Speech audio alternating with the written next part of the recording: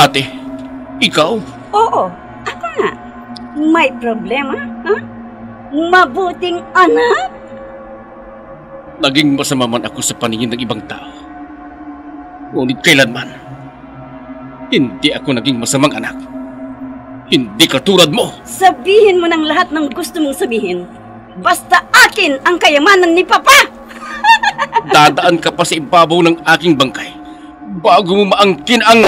Ah! Gabi! Tuluyan nyo ng patayin ang lalaking yan!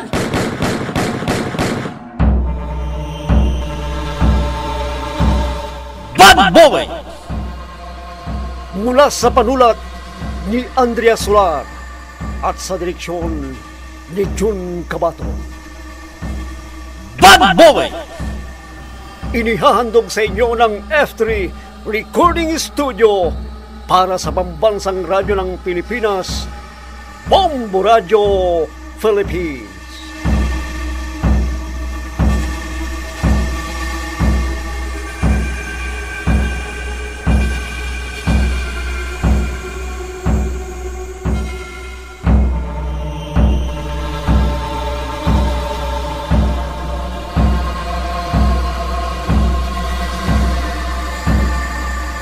At ngayon mga kaibigan, narito ang pagpapatuloy ng ating dulang pinamagata. Bad Boy! Ah, Mami? Oh, di ka iha. Narad ka na pala. Kumusta ang pag-uusap ninyong dalawa ng ama-amahan ko? Nakapagpaalam na ba kayo sa kanya? Oh, oo. Teka. Dala mo na ba ang gamot? Opo. Ito nga po eh, dala ko na. Mga ilang oras ba bago iepekto sa kanyang katawan? Ah, huwag kang mag-alala, Fidel. Dahil sa mahal kita, hindi na kita pahihirapan pa. Pwede ka nang magpahiga. Ah, mm.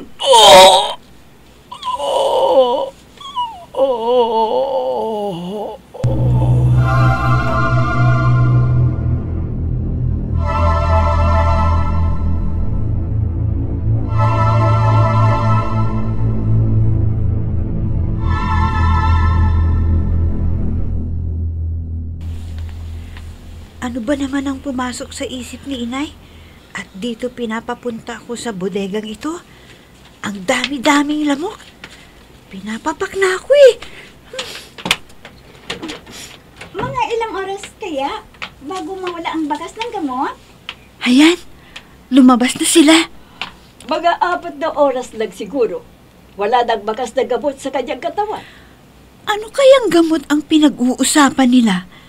Siguro, pinainom na ni Nika si Tito Fidel ng gamot. Ha? Teka! Namumukhaan ko itong babaeng kasama ni Nika. Tama! Hindi ako pwedeng magkamali.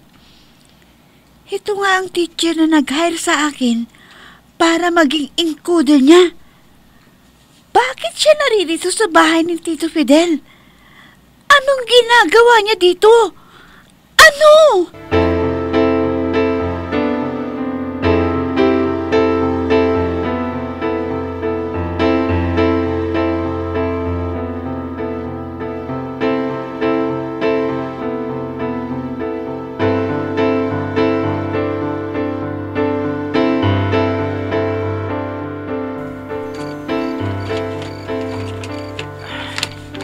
Kanina pa ako dito. Pero wala naman akong nakikita nga malagang dokumento na nagpapatunay na may koneksyon si gobernador sa smuggling at sa mga ipinagpapawal na gamot. Hmm, Makalis na nga. Ah, titingin pa ako sa ibang mga kwarto. Hindi bale. Siguradong magtatagal pa bago babalik sina gobernador. Isa pa, ititix ako ni Kape kung babalik na sila dito. Ha? Ah, ah, Ano yun? Ah, Ha? Pusa lamang pala. Akala kong ano na yun. Wah! Kumuntik na ako dun ah. Ah, Napasigaw ako ng wala sa oras. Kung tao pala talaga yun, nahuli na ako. Bakit pa kasi nagulat pa ako eh?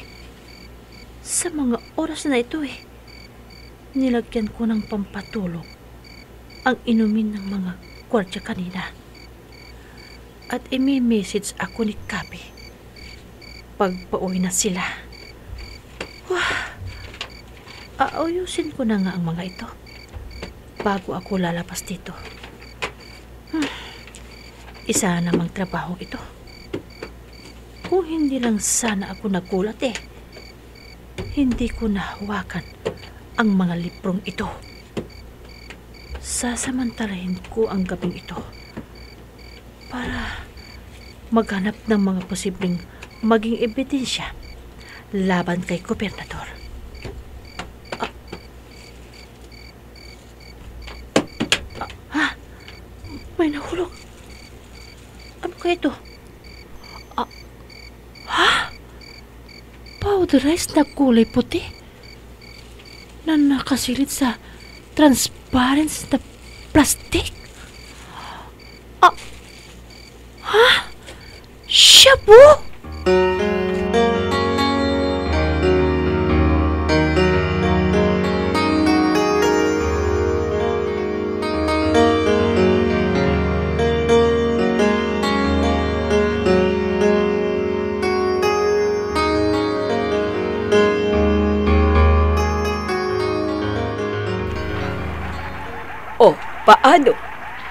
Balitaan mo na ako bukas, ha? Opo, Mami. Yung itinuro ko sa'yo, kailangan galingan mo ang pag-arte. Isipin mo, ikaw lamang ang nakakapasok sa kwarto ni Fidel, kaya ikaw ang numero unong paghihinalaan. Pero, hindi kaya sasablay ang ginawa natin? Ah, hindi! Dahil lalabas na namatay sa sakit sa puso si Fidel. Paano? Kung sisihin ako ni Aling Tinay, sila pa man din ang tila nagtataka kung bakit inilabas ko kaagad ang papa sa hospital. Oh, di sabihin mo yung itinuro ko sa'yo na magiging dahilan. Isa pa, ikaw ang anak. Kaya ikaw ang nakakausap ng doktor. Anong ikakatakot mo? Anong alam ng mga alilang yon tungkol sa sakit ng papa mo sa puso? At isa pa, sino ba mga mag-inang Tinay at Meryl para tanungin ka o pakialaman ka? Mga alila lamang sila. At wala silang karapatang i-question ang desisyon mong ilabas si Fidel sa ospital. Dahil anak ka, sa tingin nila. Kaya huwag kang mag-alala. Basta sundin mo lamang ang mga iniuutos kong gagawin mo. At magiging okay ang lahat.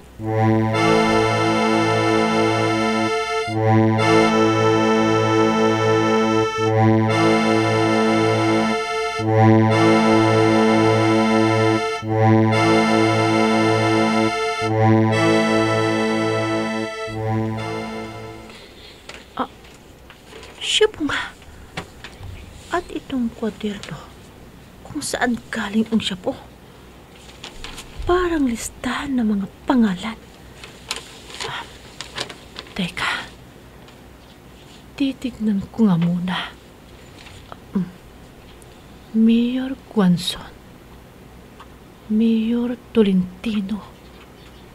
100,000. Lieutenant Lito Velasquez. Lieutenant Kelly T. Guzman. 75,000.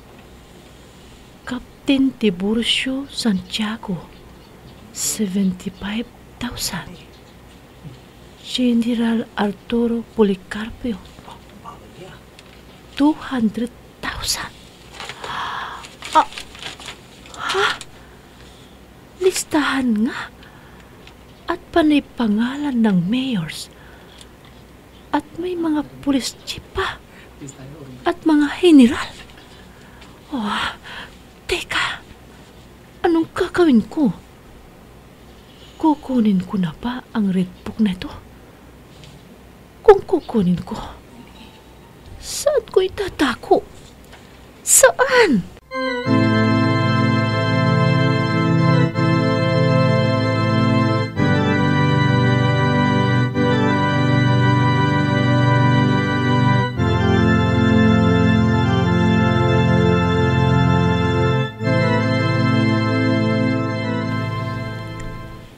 Anong sinabi mo? Si Agida ang sinasabing mami ni Adolfo? Opo, inay. Hinding-hindi ko po pwede makalimutan ang pagmumukha ng teacher na yon na nanakit sa akin. Tignan mo nga naman ang pagkakataon. Naging balain na pala ni Fidel si Agida. At ang nakakalungkot ay hindi niya alam na nanay pala ng kanyang manugang na si Adolfo ang babaeng naging sanhi ng maagang kamatayan ng kanyang asawa. Ho? Naging sanhi ng kamatayan ng asawa ni Tito Fidel? Si Agida? Na mami ni Adolfo na asawa ni Nika? Oo. At hindi ko alam kung tama ang hinala ko Na anong hinalay, Nay? na may kinalaman si Agita sa pagkaka-blacklisted ni Gabi sa eskwelahang pinapasukan nito. Bakit po, Inay? Kilala niyo ba si Ma'am Agida na mami ni Adolfo na asawa ni Ma'am Nika? Oo, kilala ko si Agita. Kilala rin ba siya ni Tito Adolfo? Oo. Kung kilala ko si Agita, mas kilala ni Fidel si Agita. Kilalang kilala ni Fidel si Agida.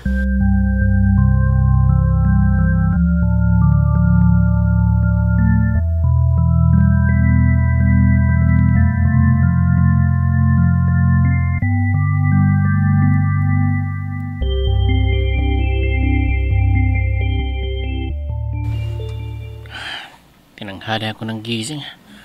Para naman kasi. Madaling araw na kami dumating. Teka, makamagon na nga para makapaligo na ako. Sa wagay, sinabi naman ni Gob na kahit tanghali na ako magising, dahil siya man ay natutulog pa. At mamayang alas dos pa ang lakad namin. Teka muna, makapagkapi na nga muna ako bago maligo. Hmm? May nag-text. Nako, mabuti na lamang at tumunog bago pa ako nakalabas ng kwarto. Kundi maiiwan ko. Teka, basahin ko na nga muna ang message.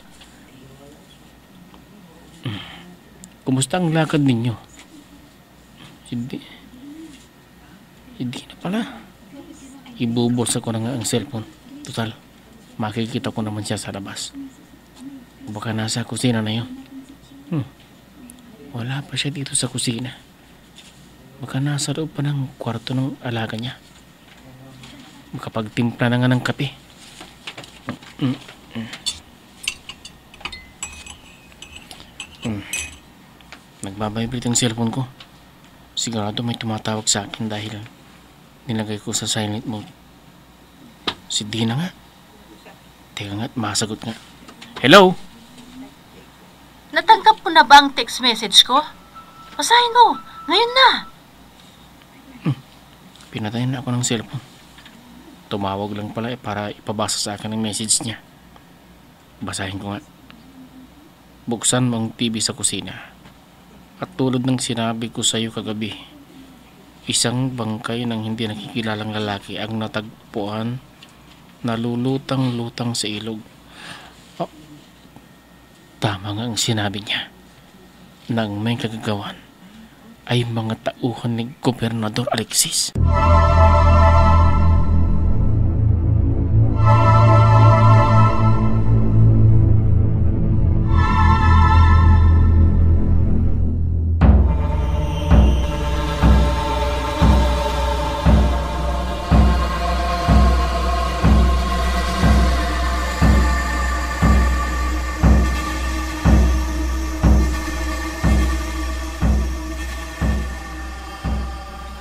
Anong ginagawa mo ngayon at nasaan ka?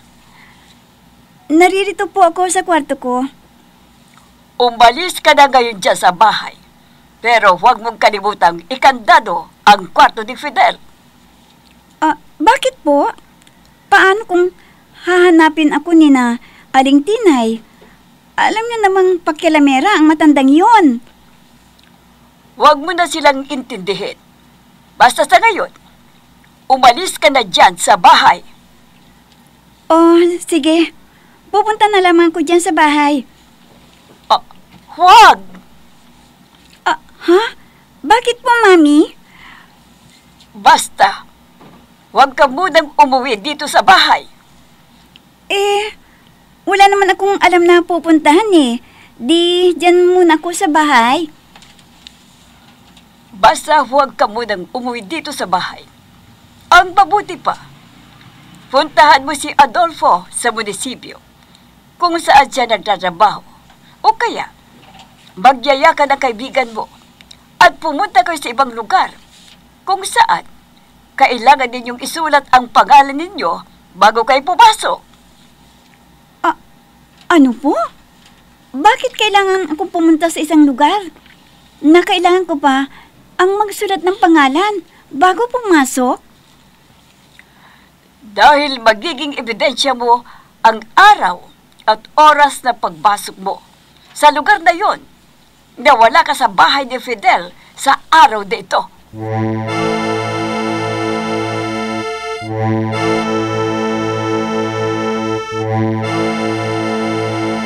Ay,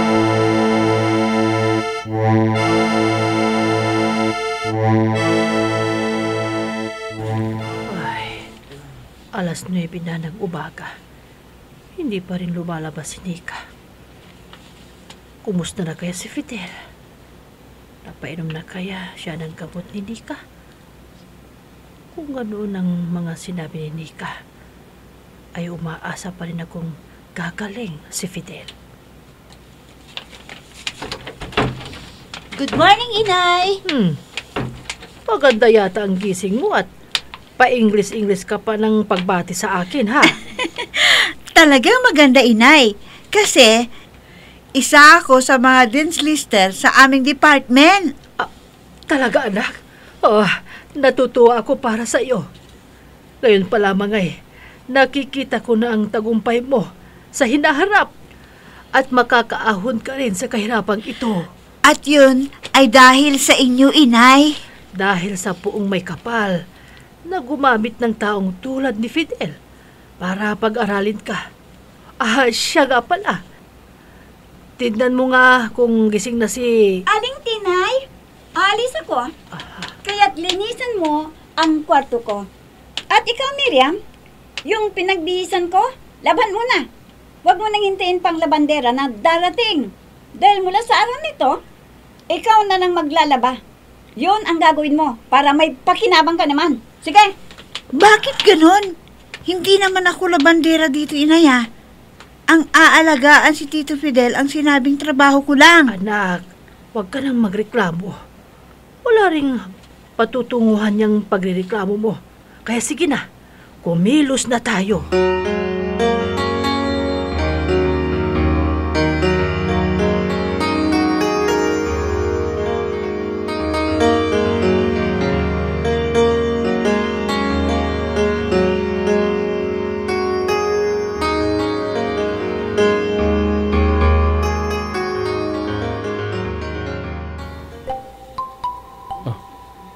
message si Dina.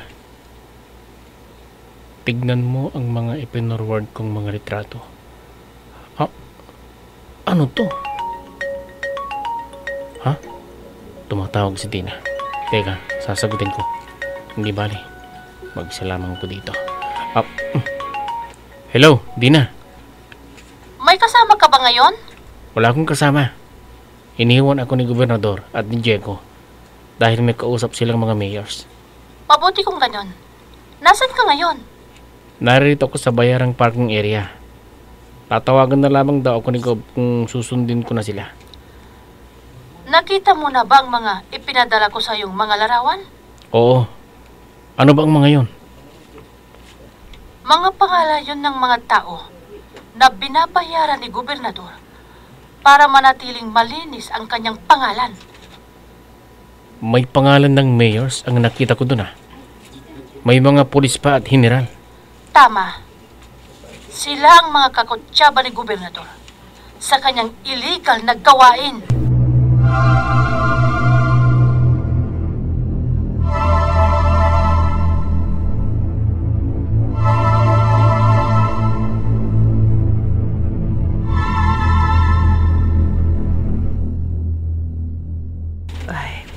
Naluto na ang pagkain na para kay Fidel. Teka, tatawagin ko na ang anak ko para tanungin kung gumating na si Nika. At nang ah, papakain na niya si Fidel. Anak, Mirel! Mirel! Bakit po, inay? Ay, halika nga rito, sandali. Ay, tamang-tama. Mainit ang pagkain papasok sa sikmura ni Fidel. Ah, bakit po? Ay, tignan mo nga kung nariyan na si Nika. At kung wala pa, kunin mo ang duplicate na susi sa lalagyan. Ikaw na ang magpapakain kay Fidel. Opo, inay. Akin na po. Mm, ito, mm. Ang sarap ng papakain natin kay Tito Fidel, ah. Pero, inay, pwede kaya sa kanyang pagkain ito? Oo naman. Mm, sige na. Ihatid mo na ang pagkain niya. Opo, inay. Huhugasan ko nga muna ang mga ginamit ko. Saka ako magsasandok para makakain na rin kami ni Mirel. Inay! Inay! Si Tito Fidel! Inay!